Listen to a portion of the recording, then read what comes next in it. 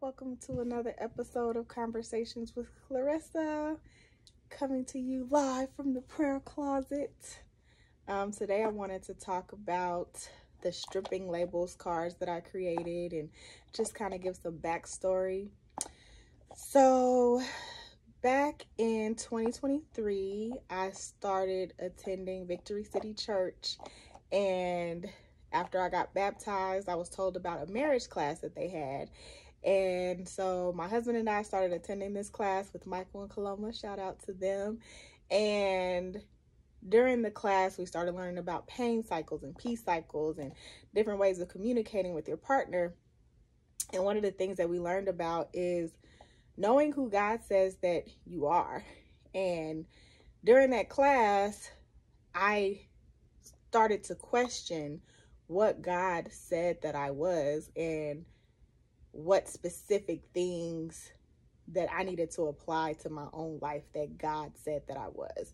So I started researching it and looking it up and trying to figure out like what does God say that I am?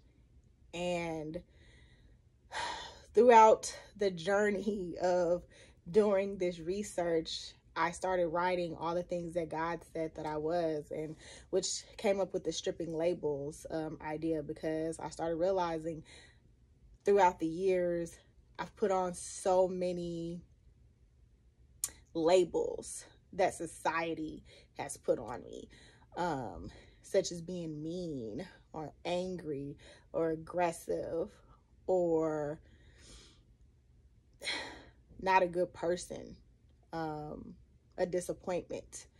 Uh, just anything that someone had said that I was in the past. And I put that label on because I believed it to be true about myself.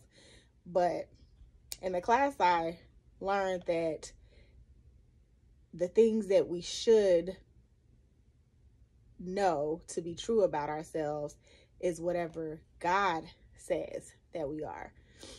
And so I started looking for what God says that I was. And so the stripping labels is basically um, everything that God says that we are. This is what they look like. I have um, different uh, things in here that says what God says that you are. Um, like I am God's child. Um, I am made new. Uh, I am loved, different things that God says that I am, and um, that I am forgiven. So I don't have to carry that shame. And on each card, it also has the scripture that correlates with whatever it says that God says that you are. Um, just so that you don't have to go doing the searching for those scriptures. Um, I will say throughout going through the Bible myself and looking for these scriptures, it definitely increased my intimacy with God. Um, and knowing what he says about me, it helps keep me rooted and grounded on who I truly am because so often we can take on these labels that society has put on us instead of just taking on the labels that God put on us and who he says that we are.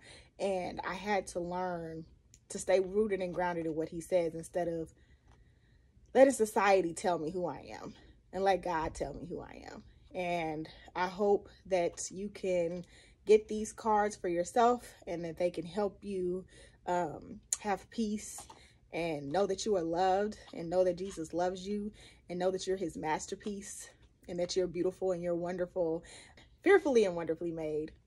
I hope that with these cards that you can learn what God's word says that you are that and that you're here for a purpose and that he is going to guide you in everything that you do and we cannot do this without him. You are able to find peace and happiness and please inbox me if you want a copy or visit the website and we can ship them out to you. Uh, just click the link in the description in order to get it or you can inbox me on Love Fearlessly 3 on Instagram and at Love Fearlessly on Facebook. Thank you and we'll see you again next time.